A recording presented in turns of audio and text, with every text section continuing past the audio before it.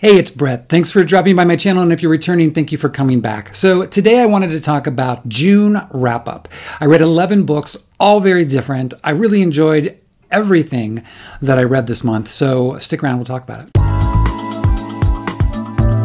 All right, so first, as always, I just want to update everybody on what I'm, I'm currently reading right now is Change by Edouard Louis. This is the follow up to his book, The End of Eddie, also an autobiographical novel that was about a young boy growing up in a very rural section of France who is discovering that he's gay, is very abused by not only his family, but his, his friends and classmates. I should say, classmates, not really friends. This is the follow up where he is now a teenager and working to get himself out of his life and getting on with it. Um, it's immediately captivating. I've really, really, really enjoyed it. It reads really fast, beautiful writing, uh, translated by John Lambert. It's it's great. The other thing which I've been savoring so much, and I've talked about this before too, is uh, well, How to Write an Autobiographical Novel by Alexander Chee. I'm down to the last two essays. And as you can tell, I've marked this thing up like crazy. It is so chock full of just nuggets of wisdom, of information. If you've read um, Edinburgh by Chee, there's a whole chapter devoted to how he came about writing that. Uh, it, it's just exquisite. I can't recommend it enough. And is probably going to go down as one of my favorite books of all time. I just think it's so such a masterwork of craft and art artistry and artistry. It's beautiful. Okay, so here we go. 11 books. These are in no particular order, although I am going to start with the most recent thing I read first, which is Bear by Julia Phillips. I really, really, really liked this book, and the more I've sat with it, I've liked it even more. Um, this is about two sisters who live on an island off Seattle who are taking care of their dying mother, and one day a bear shows up. She based this very loosely on the grim fairy tale Snow White and Rose Red, but it's what happens. And the kind of wedge that gets drawn or pushed in between she and her sister about the one sister sam and her other sister elena it is so good it's immediately accessible. You're sucked right in, um, and this kind of mounting suspense begins to build. I don't really want to say too much about it, except you should absolutely read it. Um, Julia next week will be on the Gays Reading podcast. So if you follow that, please make sure you listen to that before or after you read it. It will be spoiler free, but a really, really, really solid, compelling read. Speaking of solid and compelling reads, Henry Henry by Allen Bratton. I love this cover so much. This is a modern retelling of Shakespeare's The Henriade. I will leave it to anyone down below who wants to dive in on those particular Shakespeare plays because don't know them. I will fully admit it. But here's what I do know I loved this. I listened to this on audio because, as much as I can try to muster up a lot of British accents in my imagination, hearing it actually read was so enriching. It is expertly read by Sebastian Humphreys. He completely brought this text to life. Um, the best way I can summarize this is by saying it is Saltburn for fans of Alan Hollinghurst. It is sexy, it is smutty and messy. It is really smart. It is a coming of age novel in a year where we're having so many, especially queer coming of age novels. But I have to say, all of them are so individual and so good and have such really distinct voices. And this is a prime example. Um, I really couldn't get enough of it. I loved it. I thought it was really smart, really compelling, um, with complicated characters and a protagonist that you actually absolutely found at times just a train wreck. But a lot of it makes sense why he is as you get further into the book. It, it, it was great. Okay, also going to be on the Gays Reading Podcast. Actually, it was this week on the Gays Reading Podcast is Oisín McKenna. I'm blocking his name with Evenings and Weekends. Great book. Great book. I loved this uh, about a group of friends in London. They're all connected, and what transpires. Uh, Again, I don't want to tell you anything because I really don't want to ruin any of the, the the great joys of discovery of this book. It's a great collection of people, um, all kinds of uh, genders, sexualities, really interesting. Uh, it also very much makes London its own character in kind of the way that Sex and the City does with New York City. I think this would be an amazing uh, limited series, and I think you could do it ongoing, and every year would be a new cast and another kind of story, or you could even set it in a different city every year. But um, really, really, really smart and fun, and um, a great, great, great summer book. And also, please check him out as well on the Gays Reading podcast. All right, Headshot by Rita Bullwinkel. This was a mixed bag for me. I I loved the concept of this book, which is uh, a series of young girls fighting in boxing tournaments.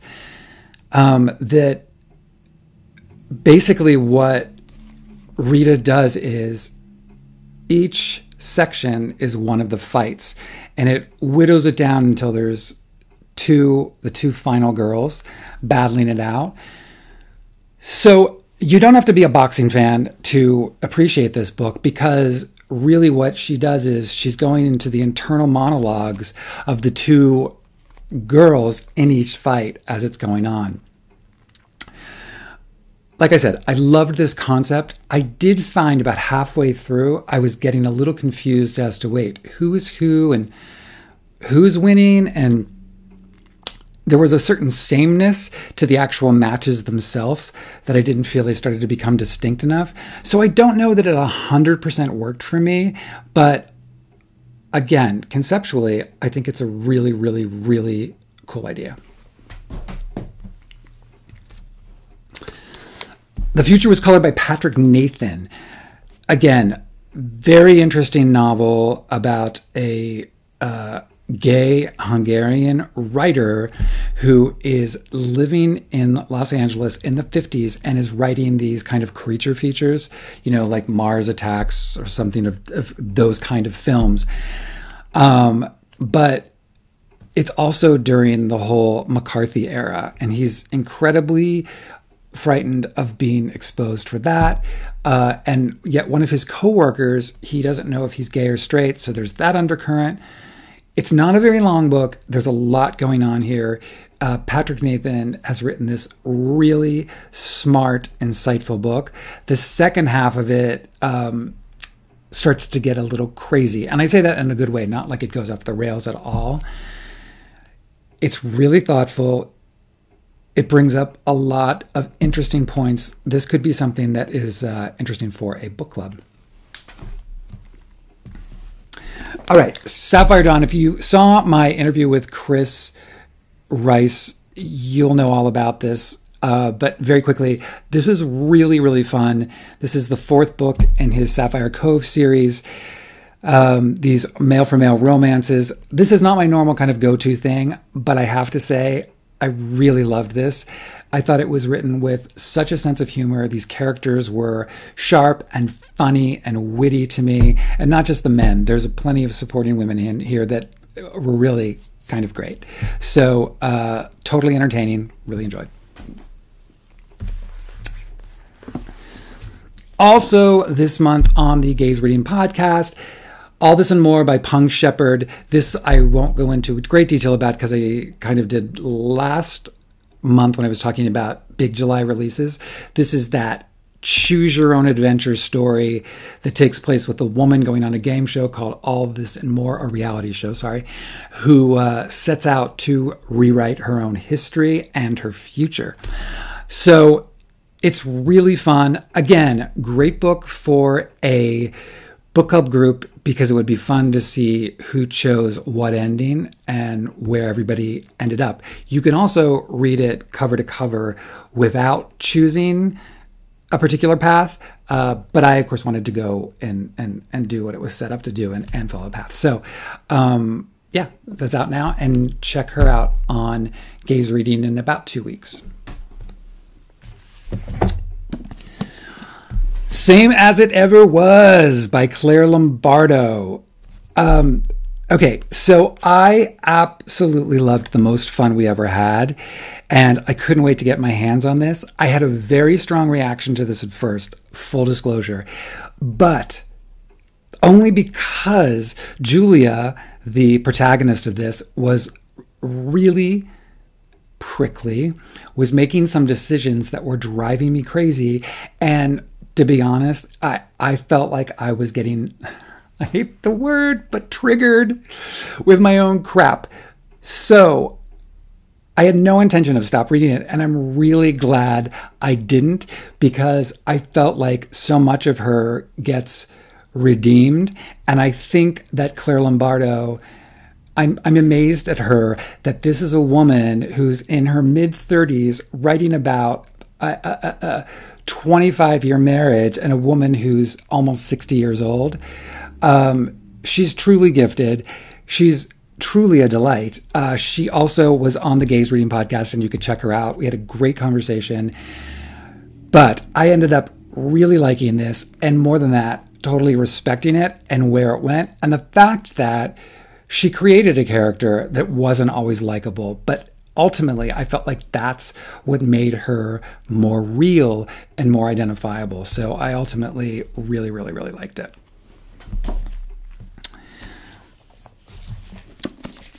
The Road to the Country by Chigozie Obioma. Oh my God, you guys, this is fantastic. I mean, get ready for book prize season, and I think this will be at the top of it.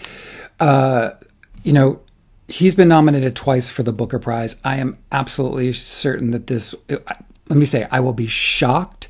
I can't be absolutely certain. I will be shocked if he is not nominated. And having not seen anything else, what even can be in contention. I would be shocked if he doesn't win. This about a young man whose brother goes missing and he goes to search for him and he gets conscripted into the Biafran War, or also known as the Nigerian War. I had to look it up.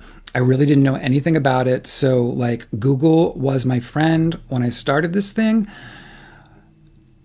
It is a war novel. It is a brutal war novel as he goes to try to find his brother, desperately wanting to get out of this front line to see if his brother is safe, where his brother is. It's about the soldiers that he becomes friends with and a woman who is a soldier and there for her own reasons who he begins a love affair with. It is brutal and beautiful and exquisitely written. Um, I didn't know what I was getting into, and I, I, I just think it's great. Certainly one of the best books of the year. All right, The Stardust Grail by Yume Kitasei. Um, I really liked The Deep Sky, Yume Kitasei's first book. So when Flatiron reached out and asked me if I'd like to read the new book, I was very excited to thank you. Um, and it did not disappoint. This was originally pitched, I think, by Yume, who said it's going, it's kind of uh, Indiana Jones in space which I get that, but to me, it's much closer to Star Wars because of all the characters, all the creatures, all the different worlds. It's really fun though. It's it's totally action packed. It's very smart, really fun characters, including this um, octopus like creature who kind of is at the center of it. Um, if you're at all a sci fi fan, I would definitely, definitely add this to your summer reading list. All right, we're down to the last two. Uh, Bad Habit by Alana S. Portero. This totally surprised me, and thank you, Harper Via, for this. This is about a young trans woman growing up in Madrid. And it's her story. I have to be honest, when I started this, I thought it was uh, an autobiography. I didn't know that it was a novel. Um, and I have to say, I'm really excited because Alana is coming on the podcast at the end of the month, and we haven't had that conversation yet. So I'm interested to know how much is fact based on fiction and fi- fiction, how much is fiction based on fact. I loved this book. I think it's so well written. I think the characters in here were so beautiful and interesting to me. Uh, I loved all of the culture of it. It, it. it really was this lovely, simple, beautiful book. And last, Pretty by KB Bookins. KB was also just on the Gays Reading Podcast. Once again, you can see by how much I've marked it. I thought they wrote a beautiful, beautiful memoir. At times, it's it really is just a collection of essays that focus on queerness, on blackness, um, on masculinity, on femininity. It's really stunning. In a way, I wish I would have listened to this only to hear it in their voice. So, but it doesn't matter. Really terrific book. I really liked it. So, uh, really no real stinkers. I feel like I'm really having a solid year. So, this is my question for those of you who are stuck this far. I was going to do a second quarter faves, but I might just jump ahead and do a halfway top 10. Let me know what you think about that as opposed to second quarter faves. Or I could do a second quarter faves and then follow up a little bit later, like a week later, with halfway top 10. Let me know below. And uh, if nobody answers, I'll just make a decision. all right. Thanks again for stopping by. I hope you're all having a great week wherever you are and that you are staying cool. And I will see you guys all soon. Thanks.